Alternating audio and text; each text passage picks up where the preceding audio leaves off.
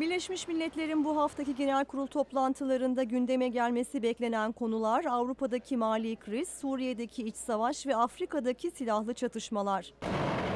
Birleşmiş Milletler Genel Sekreteri Ban Ki-moon Suriye konusuna ağırlık verileceğini açıkladı. Suriye'de bir buçuk yıldır devam eden çatışmalarda bugüne kadar 20 bini aşkın kişi öldü. Ülkedeki insani krizde gittikçe derinleşiyor. Have Bu kez 120'yi aşkın liderle ikili toplantı gerçekleştireceğim. Gündemin başında Suriye var. Sanıyorum tüm liderlerin birinci gündemi de Suriye olacak. Bu konuyu acil olarak ele almak zorundayız. Birleşmiş Milletler Güvenlik Konseyi Arap Birliği ülkeleriyle birlikte olağanüstü toplantı düzenleyerek Suriye konusunu ele alacak.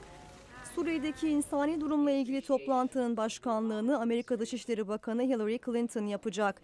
Yüzyıl Vakfı Araştırma Grubu uzmanı Jeffrey Laurenti ise toplantılardan öncekinden farklı bir sonuç beklemiyor.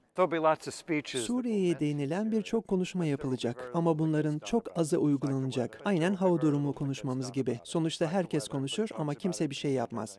İran'ın nükleer programı da Güvenlik Konseyi'nin 5 daimi üyesi ve Almanya arasında ayrıca görüşülecek. Görüşmede İran'ın nükleer programındaki ilerleme ve Tahran hükümetinin barışçı olduğunu ileri sürdüğü programla ilgili soruları yanıtsız bırakması ele alınacak. Devrim Moral, Amerika'nın Sesi, Washington.